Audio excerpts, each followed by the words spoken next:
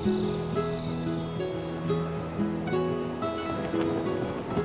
you mob, Gujiigu Nata Andy Saunders. That means, hello, my name is Andy Saunders in Gathang, the beautiful language of the beautiful Biripi Nation, which is where we are right now. We're on Taree TAFE campus and we're just about to go into a lesson of a Cert 1 in Gathang languages. Um, the Crows are coming as well. And that's being run by uh, a language holder uh, who is very well, well respected here in uh, Taree and all across the area of um, Biripi lands. And her name is Mandy Davis. Uh, I cannot wait. Um, I'm kind of nervous too, but um, it's going to test me out. So let's go. I'm pretty pumped. Follow. I know. I thought I brushed my teeth last week. I know language is very important to you. Um, how, how long have you been teaching language for, sister? Um, been teaching for probably since 2012, 2014. After, you know, we reclaimed all our resources and and Muurrbay Language Centre supported yep. us with getting our dictionary. Yeah, from that I had beautiful brother boy Jeremy Saunders teach myself and your beautiful mum and Auntie Wilma Morecambe mm. in my first class of Gathang. So from there then, um, you know, we became teachers to teach our mob. So we've got a new little fella that's joined us today and his name's Andy Saunders. I'll let him introduce himself. G'day everyone, how are we? Um, Gujiigu Nata Andy. Whoa! Mm. It's great to be here. It's an honour to be here on beautiful Biripi country in this lovely room. It's good to see so many people in a, uh, a Gathang class. And can I just say something about Gathang? All right. It's a language that spans across two countries, three countries, which is Biripi, Worimi, and Gurungai. And I love Worimi because I always say, What am I? What are you? What are we? so let's all say we're boo Bingai. Weeaboo Bingai. What keeps you motivated? One hand, I keep motivated by grief. You know, we're healing from a loss of our language. We're also grieving um, for the loss not only of language but the cultural knowledge that came with that language. Yep. Um, I grieve for our old ones that fought for our rights for us to be sitting here today, yep. having a yarn and you know and me teaching class and you attending class in Gathang. Hmm.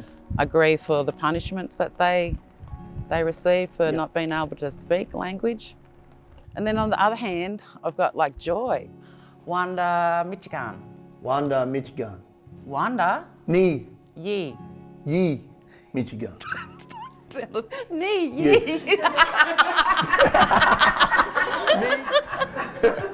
no, don't, sorry. Don't do that Aborigine. I got it's that missing part of my identity. Of course. Knowing that it had been asleep for so long and then, you know, coming together and our first class was so emotional and, mm. you know, you could see the the grief in people's eyes mm. as, you know, flashes of memories and thoughts of like, it's taken this yeah. to, to get to where we are today. Mm. Yeah, so you know, I know for certain today that there is somewhere on this, you know, this, these three countries, um, there's someone talking language. I love hearing you talk about that, and I, I don't think it's hard to understand that uh, grief and joy because you do feel happy and sad with the revitalisation of all languages, Aboriginal languages across the East Coast and in New South Wales and all over Australia. For me, I think it might be about the journey and not so much about the destination because I think our destination lies in the journey. What we're doing is our destination on a daily basis, every breath we take towards revitalising language and having it fluent and our kids speak it like butter. Uh, we think about those goals, but I think the journey towards that is all destination. Wanda Miri. Wanda Miri. Ye Miri. Wanda going. Ye going. Dunga. Dunga one point. This is what I always say about learning. The, the most you'll ever learn is at home, at your parents' or your grandparents' feet, because it's non-threatening, it's safe, and it's full of love. Yeah. And that's immersive learning. Um, so, I mean, to have a class like you're running, it's heading towards immersive learning because it feels safe, non-threatening, Yeah. non-judgmental, uh, and it's full of fun. It's laughter. I mean, when I'm laughing, I'm open, I'm vulnerable, I'm just ready. Yeah. I'm ready. Yeah. So I love laughing. yeah. So I've got mad teeth for laughing. Right. Going. Going? Where are we going? going, going. So that said, do you think language is in safe hands? Now, I think language is in safe hands now. Um, there's a little percentage of me that I think we might not be endangered again, but we might lose what we've struggled so hard to, to bring back Yep.